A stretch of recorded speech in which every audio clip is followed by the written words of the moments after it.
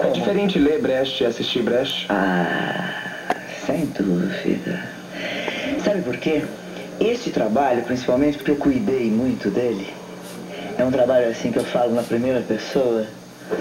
E então eu sinto que eu consigo transmitir, porque Brecht foi muito teatral, né? Ele tem poemas e tal, mas nesse mais nada ele foi um homem de teatro. Então eu, eu sinto que Brecht gostaria desse trabalho. Você.